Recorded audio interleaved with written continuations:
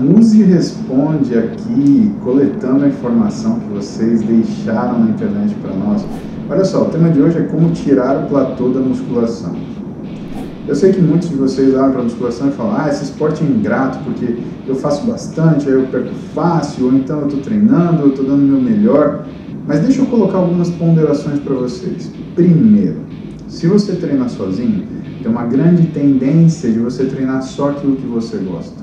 E um físico bem desenvolvido, ele não é desenvolvido de uma forma singular, por exemplo, ah, vou treinar só peito e bíceps. Por quê? Porque para você desenvolver as estruturas musculares, você tem que pensar que o organismo é como se fosse um prédio. Não adianta você falar assim, ah, vou construir só do lado direito do prédio vou deixar o lado esquerdo sem alicerce. Senão o lado esquerdo cai. Aliás, o lado direito nem poderá ser construído, porque falta base. Então tem muitas pessoas que falam que atingem um platô, mas por quê? Porque elas chegaram no limite das estruturas que elas gostam de treinar e deixaram de treinar as estruturas acessórias ou as estruturas que são justapostas a essas superfícies. Então, primeira coisa, faça essa pergunta para você. Estou treinando o que eu preciso ou estou treinando o que eu quero? Primeira pergunta.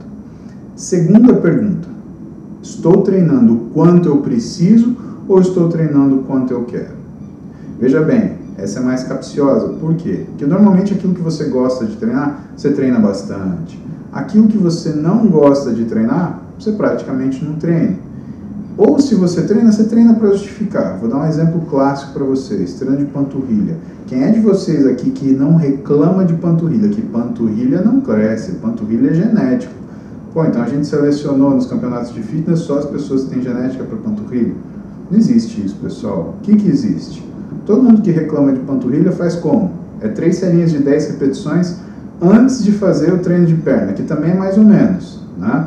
O que eu já escutei de gente falar que não treina perna porque joga futebol no final de semana, ou então que vai andando para casa, então não precisa treinar perna. Pô, pessoal, a mesma pessoa que vai lá no supino e faz 10 séries só de supino reto.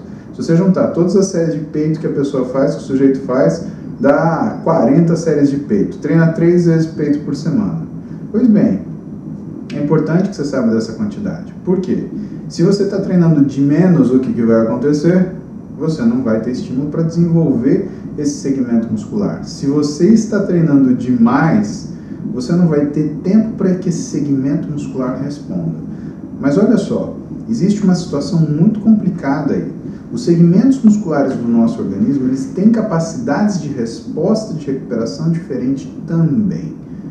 Você acha que seu bíceps recupera da mesma forma que seu peitoral? Que sua panturrilha recupera da mesma forma que a sua musculatura dorsal? Existem músculos no nosso organismo que são muito fortes e muito resistentes. Panturrilha é um bom exemplo disso. Pessoal, panturrilha a gente foi feito para ficar em cima dela. O ser humano, no aparecimento dele na Terra, na era do Cenozoico, ele andava, ele caminhava entre 48 e 60 km por dia. Se vocês fizerem uma conta rápida, vamos fazer uma conta comigo, 60 quilômetros, tá? Não, vamos fazer menos, 50 quilômetros. Pensa que para cada quilômetro você dá 250 passos. Entendeu quanto falta para o seu treino de panturrilha funcionar? Então, essa é a questão de quando a gente treina menos. Agora eu tenho certeza que um monte de gente vai começar a refazer o treino de panturrilha, né? Esse é o objetivo. Agora, vamos pensar outra coisa. Quantas vezes por dia você faz um movimento de supino aqui assim? Depende do seu trabalho, né? Agora, você acha que se você fizer 500 exercícios de supino, isso daí vai funcionar para você se você é um iniciante? Não. Então, uma das coisas que você tem que começar a perceber é, além de saber que músculos diferentes têm capacidades diferentes de realização de trabalho, portanto, necessitam de quantidades diferentes de exercício, você tem que entender que estes músculos, eles também passam do ponto onde eles desenvolvem o seu formato, o seu volume, para simplesmente executar uma função. Vou dar um exemplo para vocês. Um fisiculturista, ele faz muito menos movimentos com o peitoral do que, por exemplo, um sujeito que faz natação e que nada borboleta. Um sujeito que nada borboleta, ele deve nadar quanto? 5 mil, 6 mil, 10 mil metros por dia Quantas braçadas ele dá numa piscina de 50 metros? Agora imagina isso multiplicado por 10 quilômetros. Nem por isso um nadador é um fisiculturista, concorda? Senão estava todo fisiculturista fazendo natação e não musculação. Então essa conta que tem que ser chegada. É muito difícil você fazer isso, por isso que você precisa de um treinador para avaliar isso para você e ajustar esses volumes.